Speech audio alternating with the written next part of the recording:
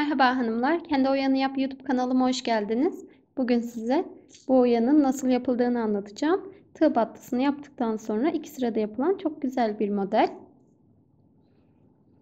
Oyamızın yapımı kolay hanımlar. İlk sıraya yazmanın düz yönden başlıyoruz. İlmekler yaparak tamamlıyoruz.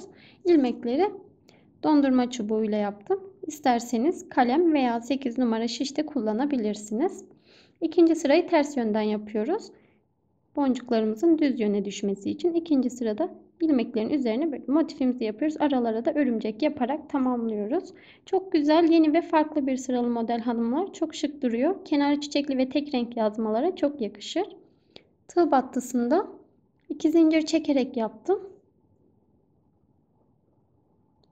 Şimdi sizinle birlikte başlayıp yapalım. Oyamıza yazmanın düz yönünden ipimizi tığ battıya sık iğne ile sabitleyerek başlıyoruz. Tam köşeden değil iki parmak içeriden başlayalım. Köşenin daha iyi denk gelmesi için. Sabitledikten sonra iki zincir çekip yandaki tığ battıya sabitleyip küçük bir yuva oluşturuyoruz.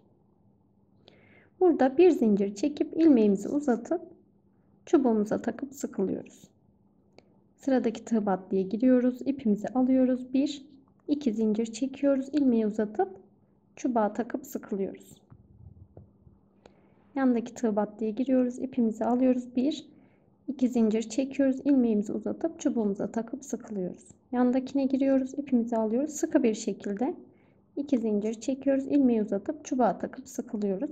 İlmeklerimizi yapmadan önce ipimizi çekip şöyle hanımlar inceltip boşluğunu alalım. İlmekler daha düzgün olur. Çubuğu çıkarttığınızda kaçma bozulma da yapmaz. Çubuğun üzerine 4 ilmek taktıktan sonra sıradaki tığ battıya giriyoruz. İpimizi alıyoruz. Buraya sabitleyip 2 zincir çekiyoruz. Burada hanımlar hemen yandaki tığ battıya batıp bir yuva oluşturuyoruz. 4 ilmek arasına bir yuva yapıyoruz. İkinci sırada bu yuvalara batacağız. Burada hanımlar yuva yaptıktan sonra bir zincir çekip tekrar ilmeğimizi uzatıp çubuğumuza takıp sıkılıyoruz. Yandakine giriyoruz. ipimizi alıyoruz.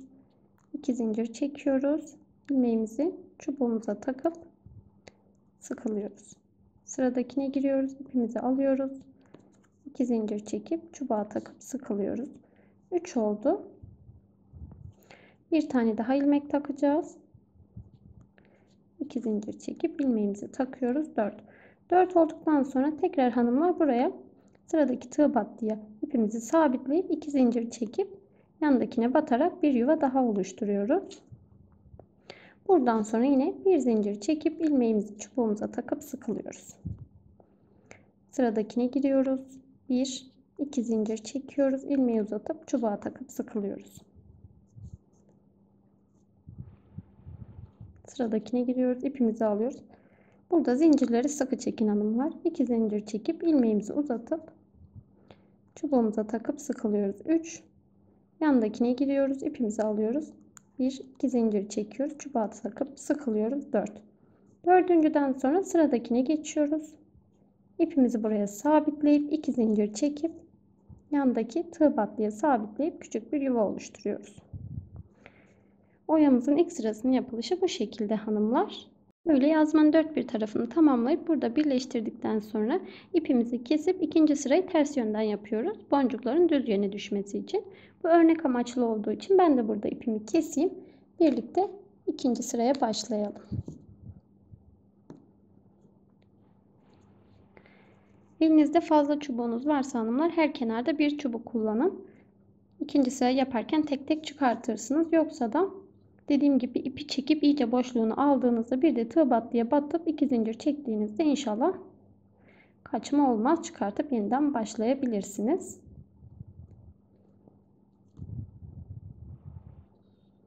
Çubuktan çıktıktan sonra da bu şekilde bir görüntüsü oluyor. Köşeye geldiğinizde hanımlar köşeden şu iki öncesi köşe ve iki sonrası tığ battılara ikişer ilmek takın. Bir burada her bir tığ battıya bir ilmek takıyoruz ya köşeden iki öncesi köşe ve iki sonrası tığ battıların üzerine ikişer ilmek takarsanız çekme sorunu yaşamazsınız. Şimdi birlikte ikinci sıraya başlayalım. İkinci sıraya oyamızın tersinden köşeye yakın herhangi bir bu dört ilmeğin arasına yaptığımız yuvaya ipimizi sık iğne ile sabitleyerek başlıyoruz. Sabitledikten sonra bu sabitlediğimiz kısmın sıkı kalması için bir zincir çekip ilmeklerin boyunda bir örümcek yapıyoruz. Burada en önemli püf noktası hanımlar bu örümcekleri yapmadan önce ipi iyice şu şekilde çekerek boşluğunu alın. Örümcekler ince uzun olsun. Örümceğimizi yaptıktan sonra tekrar bir zincir çekiyoruz.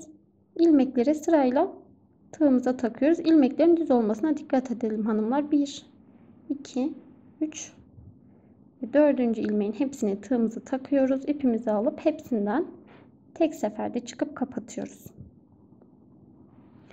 Burada 5 boncuk alıyoruz. Boncuğumuzu kapatıp bir zincir çekiyoruz. Tekrar 5 boncuk alıyoruz. Bu 5 boncuğu tek tek buradaki 5 boncukların üzerine sabitliyoruz hanımlar. Bir tanesini alıyoruz, kapatıyoruz. Çok sıkı değil. Şöyle boncuğun boyunda kapatıp bir zincir çekiyoruz. Arkaya doğru yatırıyoruz. İlk iki boncuğun aradan girip sabitliyoruz. Bir zincir çekiyoruz. İkinci boncuğumuzu alıp boncuğun boyunda kapatıp bir zincir daha çekiyoruz. Şöyle arkaya doğru yatırıyoruz. Sıradaki iki boncuğun aradan girip sabitliyoruz. Bir zincir çekiyoruz. Sıradaki boncuğumuzu alıp boncuğun boyunda kapatıp bir zincir daha çekiyoruz. Şöyle arkaya doğru yatırıyoruz. Sıradaki iki boncuğun aradan girip sabitliyoruz. Bir zincir çekiyoruz. Sıradaki boncuğumuzu alıyoruz. Boncuğun boyunda kapatıp bir zincir daha çekiyoruz. Arkaya doğru yatırıyoruz. Sıradaki iki boncuğun aradan sabitliyoruz. Bir zincir çekiyoruz. Son boncuğumuzu da boncuğun boyunda kapatıp bir zincir daha çekiyoruz. Arkaya doğru yatırıyoruz. Şurada boncukları kapattığımız yere batıp sabitliyoruz. Tüm boncukların üzerine birer boncukla tamamladık hanımlar. Burada tekrar ilmeklerin içine bir kez daha batıp motifimizi sabitleyip bir zincir çekiyoruz. Tekrar hanımlar şöyle ilmekleri toplamayacak, ilmeklerin boyuna gelecek bir örümcek yapıyoruz. Araya yaptığımız iki zincirli yuvaya sabitleyip bir zincir çekiyoruz. Sabitledikten sonra zinciri çekin hanımlar. Ütü yaparken sabitlediğimiz kısım açılmasın. Burada tekrar yine örüm ilmeklerimizi toplamayacak ilmeklerin boyunda bir örümcek yapıyoruz.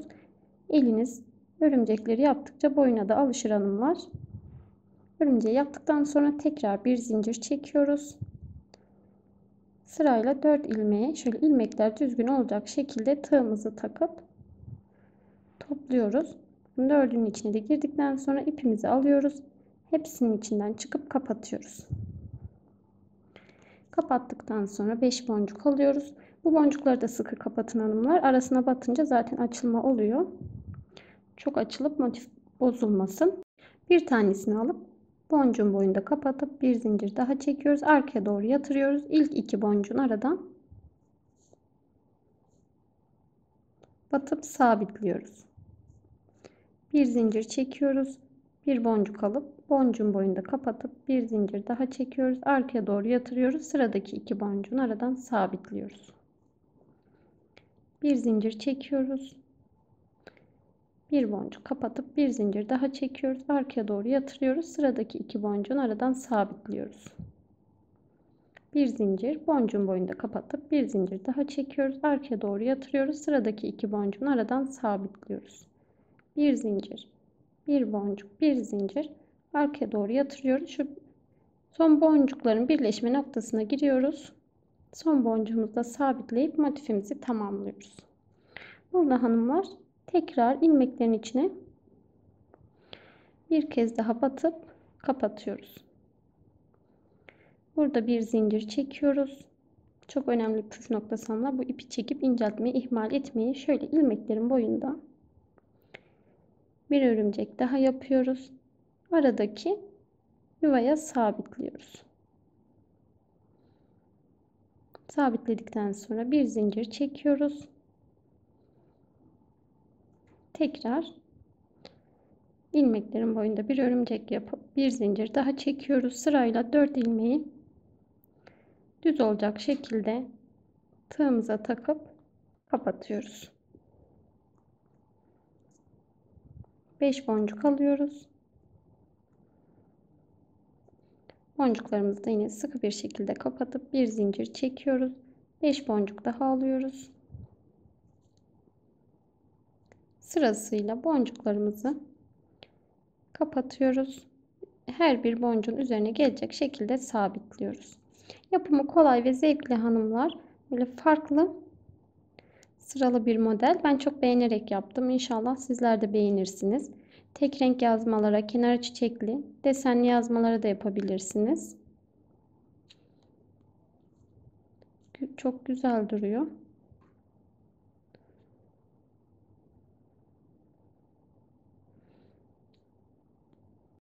Boncuklarımızın üzerini de aynı şekilde tamamlayıp motifimizi bitiriyoruz.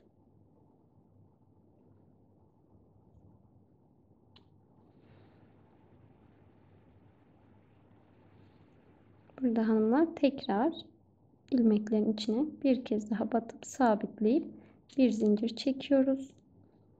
Şöyle yine ip, ilmekleri toplamayacak uzunlukta bir örümcek yapıyoruz. Aradaki yuvaya sabitliyoruz.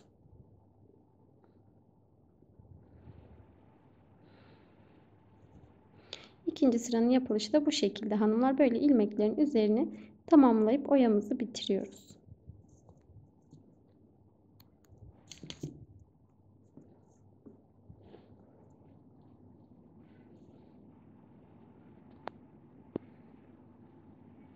Oyamızın elimizden çıkmış hali bu şekilde oluyor hanımlar. Bakın ikinci sırayı ters yönden yaptık. Boncuklarımız düz yöne çok güzel bir şekilde düştüler. Ütülendikten sonra biraz daha zarifleşiyor. Ben burada başladığım modelin ütüsünü ilk önce tersinden daha sonra düz yönden alttan üste doğru iterek yaptım. Tersten görüntüsü de bu şekilde hanımlar. Tek renk yazmalara, kenar çiçekli ve desenli yazmalara yapabileceğiniz çıtı pıtı güzel bir model. İnşallah sizler de beğenip yaparsınız. Bir sonraki videoda görüşmek üzere. Allah'a emanet olun. Hoşçakalın.